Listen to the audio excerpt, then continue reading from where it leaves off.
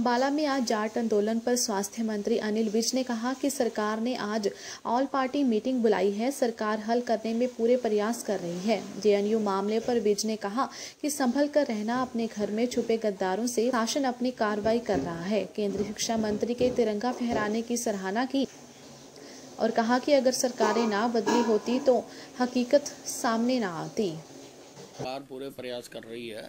अब आज अभी ऑल पार्टी मीटिंग बुलाई हुई है सरकार पूरा हल करना चाहती है इसको। लगता है सर स्थिति पे जल्दी काबू पा लिया जाएगा? सरकार पूरा प्रयास कर रही है। जेएनयू मामले में संभल कर रहना अपने घर में छुपे हुए गद्दारों से जो घर के अंदर छुपे हुए गद्दार हैं वो उसको हवा दे रहे हैं। प्रशासन ने उसका संज्ञान लिया हुआ है, प्रशासन अपनी कार्रवाई कर रहा है। अम्बाला से अजार टीवी न्यूज़ के लिए कृष्ण बाली की रिपोर्ट।